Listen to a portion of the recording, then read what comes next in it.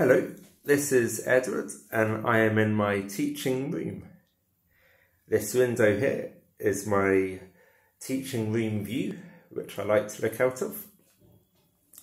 And just here we have just the basic wall for teaching children.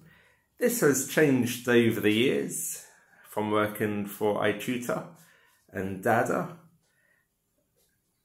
it has changed an awful lot. Uh, every company has required a different background, but this is what it looks like at the moment.